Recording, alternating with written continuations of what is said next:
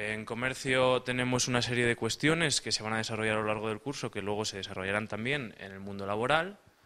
Entonces, cuando hablamos de la competencia general que se obtiene en comercio, pues vemos que se ejecutan los planes de comercialización que bien los directores de marketing o los responsables de marketing van a desarrollar. Y eh, la idea de esos planes de comercialización es conseguir ejecutarlos dentro de las mejores condiciones de calidad, tiempo, precio y aparte de eso, también eh, se obtendrán las competencias de gestionar o administrar un pequeño establecimiento. O sea, esto es hacer que el producto llegue al cliente de la forma más adecuada, en el momento más adecuado, y eh, que el cliente se sienta lo mayor o lo mejor satisfecho que pueda con la obtención de ese producto. la sonrisa y tratar bien a la gente, ¿verdad? Eso es. Y no obstante, también, no solo de cara al público, sino de forma interna, el gestionar todo el almacén, eh, la colocación de los productos en lo que sería previo y después de la comercialización de esos productos. además también que, lógicamente, como el resto de ciclos de FP son, eh, son aulas eminentemente prácticas en todas las horas que estés trabajando. Eso es, sí. Bueno, ahí, por ejemplo, vemos la fotografía de unos escaparates. Eh, dentro de este ciclo pues se trabaja lo que sería colocación de escaparates, eh, presentación del producto, empaquetado y puesta a disposición del cliente de estos productos. Como si fuera una tienda de verdad. Seguimos adelante. Bien, pues eh, supuestamente, o si no se prosiguen estudios superiores con este ciclo, eh, se desarrollarán unas labores en los centros de trabajo, bien en empresas o bien que el propio alumno decida montar su empresa. Entonces, dentro de estas ocupaciones, que supuestamente con el ciclo de grado medio podemos desarrollar, pues podemos ver el propio comerciante, bien de un pequeño comercio, bien de una cadena que nosotros mismos desarrollemos esa labor representante comercial de las empresas que se dedique a visitar clientes, eh, proveedores.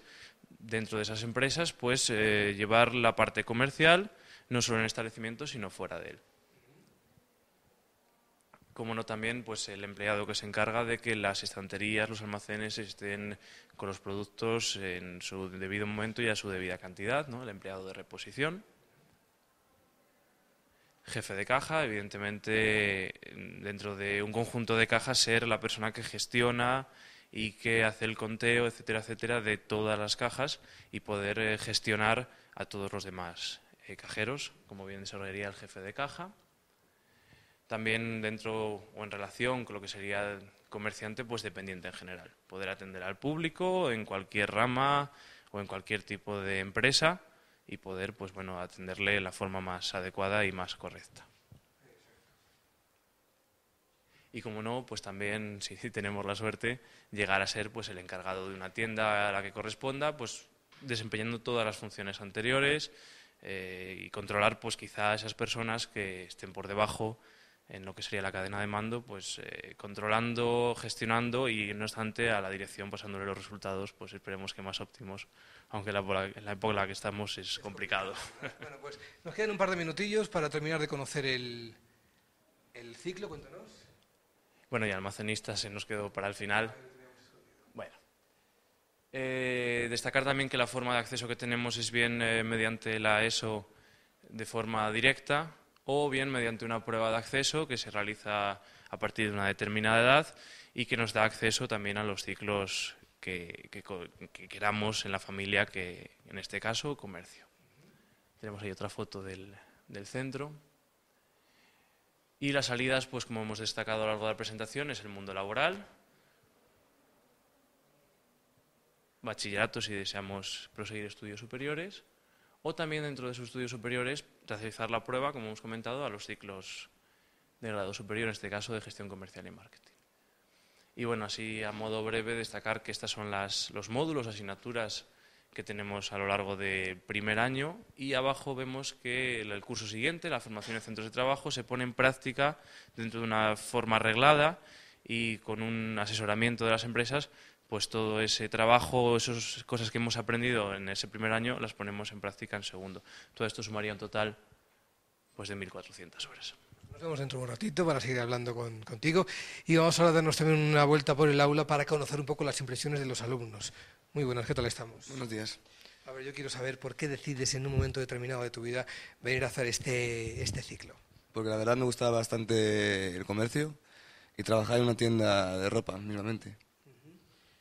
¿Te ves ya en un futuro trabajando? ¿Quieres seguir estudiando? ¿Qué es un poco la idea que tienes? Mi idea es hacer el superior porque estoy en grado medio y claro, la salida sería trabajar en una tienda. Pues ya nos veremos por ahí entonces. Muchas gracias. Siguen por aquí también paseando. Nos quedan todavía algunos, algunos alumnos. ¿Qué tal estáis? Buenas. Estáis muy serias, ¿no? Sí. Asusta esto de la cámara. No, mujer. Vamos a ver, contadme un poco así a grandes rasgos, en breve tiempo, qué es lo que hacéis en el, eh, un día normal en el, en, el, en el curso. Pues primero hacemos las clases y las actividades que nos mandan. Las- ¿Os gusta más la teoría, estar sentadas escuchando, o más cuando hay que meterse en el meollo y hacer las prácticas? No, nos gusta más la práctica. Sí. Son bastantes horas de prácticas, ¿no? Que es importante para saber cómo se trabaja en el mundo real. Sí. Bueno, la realidad tampoco es durante las horas de, de clase no hacemos mucha práctica, pero bueno, para el año que viene, las prácticas, Estoy deseando que llegue, ¿no? Sí. A ver si llega pronto. Bueno, pues vamos aquí a por eh, las dos últimas. Hola, ¿qué tal estáis? Bien. A ver, contadme un poco.